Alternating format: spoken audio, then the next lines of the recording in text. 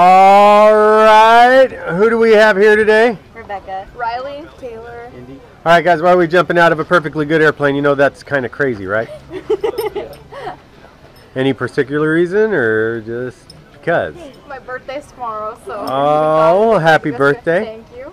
Well, how about this, guys? Do you have any famous last words or shout outs to anybody that's going to be watching this video? Uh, I feel like I would have had a lot to say, but I can't. Yeah. Yeah. We're too scared right now. All right, guys. Well, we're going to go to I had fun. 13,000 feet. We're going to fly like a bird, land like a feather. Let's go have some fun. All All right. right?